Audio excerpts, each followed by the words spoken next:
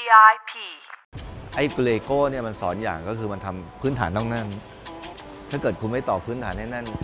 ไอ้ที่ต่อมาอย่างที่ผมบอกอะถ้าเราใจร้อนก็ต่อผิดเพื่อต่อผิดเนี่ยอาจจะต้องกลับไปลากไปรื้อตักรื้อพื้นฐานเลยเพราะต่อผิดผิดที่พื้นฐาน แต่ถ้าพื้นฐานแน่นเราสามารถสร้างสร้างอะไรที่เราเราใฝ่ฝันได้ VVIP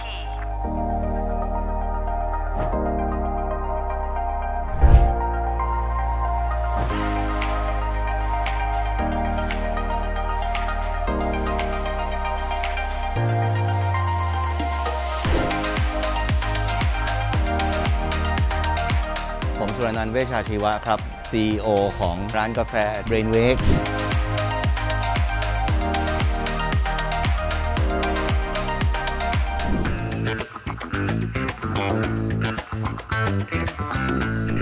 เบรนเวกเพราะจริง ๆ แล้วไม่ได้คิดอะไรเลยนะ คิดว่า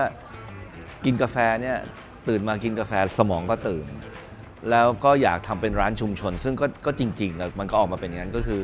คนมานั่งกันมาคุยกัน มันก็กระตุ้นสมอง ไม่ได้คิดการเมืองนะหนึ่งวันของสุรนันท์ก็มาอยู่ที่นี่มารับแขก เดี๋ยวนี้นะ ใครอยากเจอสุรนันท์ก็มาที่เบรนเวกเราก็มองมาดีก็คุยด้วยมาไม่ดีกูก็เดินออกอีกทางหนึ่งอะไรพวกนี้บางคนไม่รู้จักกันนะ มาคนเดียวมากินกาแฟไปไปมามามาหามาทุกวันคุยกันเป็นเพื่อนกัน มันก็เป็น Brainwake พูดจริงๆหาเรื่องอะนะแล้วก็ลองวิชาด้วยว่าเมื่อก่อนที่เราเป็นนักการเมือง เราไปเสนอนโยบาย SME นโยบายช่วยผู้ประกอบการ เราก็อยากรู้ว่าถ้าเราทำจริงๆเนี่ยไอ้นโยบายพวกนั้นมัน work ไหมคือช่วงแรก ๆ เราต้องมาเปิดร้านเอง มาช่วยดูลูกน้องดูความเรียบร้อย วิธีการเสิร์ฟอาหารรสชาติกาแฟลงตัวหรือยัง นะครับ เพราะจริง ๆ แล้วกว่าจะลงตัวก็เกือบปีปีกว่า ตอนเปิดก็สนุกนะครับพอเป็นงานจริง ๆ มันก็เหนื่อยเหมือนกัน แล้วก็เห็นใจเลยเข้าใจผู้ประกอบการ เมื่อก่อนเราไปกินร้านอาหารเนี่ยเราก็ไม่ได้คิดอะไรดูเมนูก็สั่ง เดี๋ยวนี้ไปร้านอาหารเนี่ยรู้เลยมีความรู้สึกเลยว่าไอ้เบื้องหลังมันคืออะไร แล้วกว่าที่จานมันจะมาวางตรงหน้าคุณเนี่ยมันเหนื่อยแค่ไหน เมื่อก่อนเคยเป็นลูกจ้างเขาเคยอยู่บริษัท ตอนนี้ลองเป็นเจ้าของร้านเอง หรือเป็นเท่าแก่เองสักรอบหนึ่งสิเปิดตอนแรกเปิดร้านกาแฟก่อนนะขยายไป 7-8 สาขา จนกระทั่งมาเจอโควิดนี่แหละ ก็กลับมาสู่สามัญจาก 8 จาก 8 เหลือ 2 จริง ๆ มันมากกว่านั้นด้วยเพราะจริง ๆ เมื่อก่อนมีร้านก๋วยเตี๋ยวไต้หวันลงทุนกับพวกคนนักลงทุนไต้หวันที่สามย่านมิตรทาวน์สามย่านมิตรทาวน์จริง ๆ ก็น่ารักมาก แต่ว่าพอช่วง ช่วงโรคระบาดอะมันไม่มีคนเดินนะครับหมายไหลก็ปิด เพราะฉะนั้นก็เลยกลายเป็นว่าไม่มีไม่มีคนไม่มีคนเราก็ต้องขอปิด แต่จริงๆ Brainwake อยากทำเป็นอาณาจักรมีเครือข่ายกับเขาอะนะครับ ก็เหลือ 2 ร้านเท่านั้น กว่าจะรอดมาถึงวันนี้ก็ก็หืดขึ้นคอ แล้วก็ยังไม่จบ มันยังมีการขึ้นลง ผมบอกว่าทำร้านอาหารในช่วง 2 ปีที่ผ่านมาเหมือนเล่น roller coaster อะ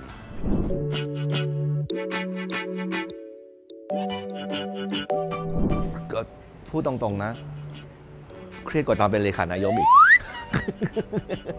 คือมันเป็นเรื่องของการที่เราต้องตั้งสติ เพราะถ้าเราไม่ตั้งสติ ลูกน้องก็ยิ่งแย่ แล้วผมก็เป็นนะ ลูกน้องบางทีก็เตือนบอกนายเหวี่ยงละเหวี่ยงไปละ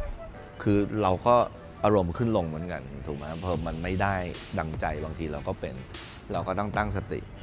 เพราะฉะนั้นผมก็ธรรมดาผมเป็นคนอ่านหนังสืออยู่แล้ว ตอนหลังๆก็มันอ่านเนี่ยพวกหนังสือธรรมะบ้าง หนังสือเซนบ้างทำให้ใจสงบลง แล้วช่วงหลังก็มานั่งต่อเลโก้ ตอนเด็กๆต่อเลโก้ ชุดเล็กๆ เดี๋ยวนี้พอมีตังก็ซื้อชุดใหญ่ ๆ มาต่อซื้อเอง ก็ทำให้เรามีสมาธิคือมันลืมโลกตรงนั้นไป ผมเป็นแฟนประจำ Star Trek อยู่แล้ว ชอบดูอยู่แล้ว Star Trek Star Wars Lego ก็ต่อเป็น Star Wars นะครับแล้วก็ตอนตอนนี้กำลังต่อมอเตอร์ไซค์อยู่คันหนึ่งซึ่งต่อผิดต่อถูกหรือแล้วหรืออีก ใจร้อนไงบางที บางทีเพลินนั่งต่อเลโก้จนตีหนึ่งตีสอง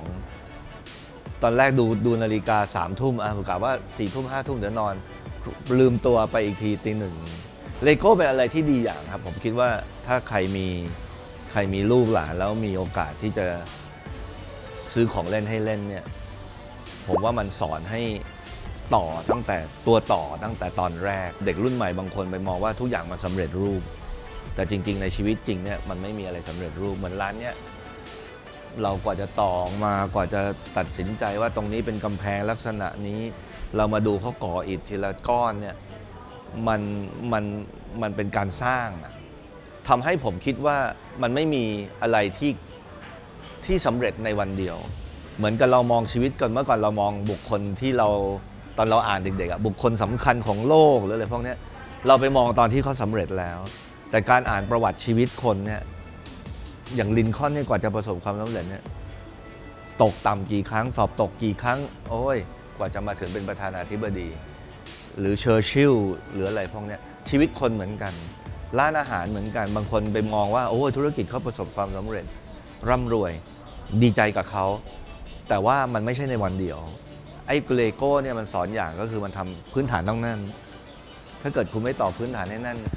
ไอ้ที่ต่อมาอย่างที่ผมบอกอะถ้าเราใจร้อนก็ต่อผิดพอต่อผิดเนี่ยอาจจะต้องกลับไปลากไปลื้อจากลื้นพื้นฐานเลยเพราะต่อผิดผิดที่พื้นฐาน แต่ถ้าพื้นฐานแน่นเราสามารถสร้างสร้างอะไรที่เรา เราใฝ่ฝันได้ แล้วมันก็จะมั่นคง มันมากกว่าของเล่นนะในในในใจผมแล้วก็ผมก็ได้จากตรงนี้มาเยอะ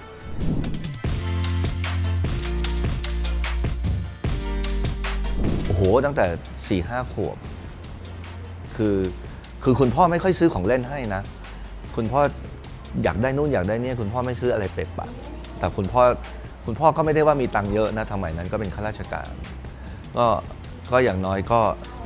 ซื้อเลโก้ให้ต่อชุดหนึ่งอะไรพวกนี้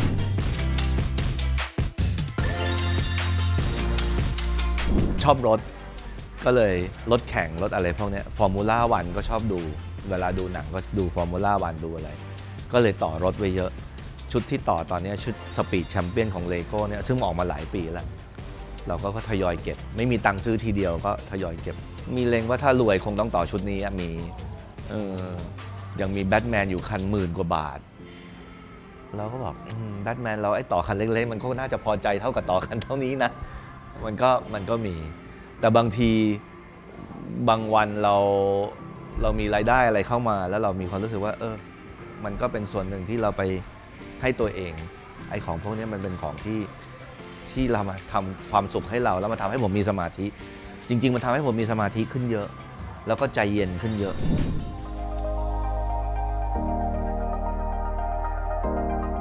การกลับไปเท่านาคำการเมือง แล้วเข้าไปอยู่กับทีมเศรษฐกิจที่มีประสบการณ์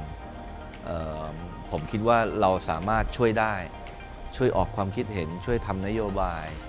แล้วลองดูซิว่าไอ้นโยบายชุดนี้หรือว่าความคิดชุดนี้มันจะไม่ใช่นโยบายแบบเดิม แล้วมันจะเป็นชุดความคิดว่าประเทศไทยจะไปทางไหน แล้วถ้าเรามีโอกาสช่วยได้ อีก 10 ปี ผมก็ตายแล้ว 70 ไม่เอาไม่อยากอยู่นานขนาดนั้น ในวันนี้ 60 61 แล้ว ก็ถือว่าเอ่อเรานอนตายตาหลับว่าเราทำดีที่สุดแล้ว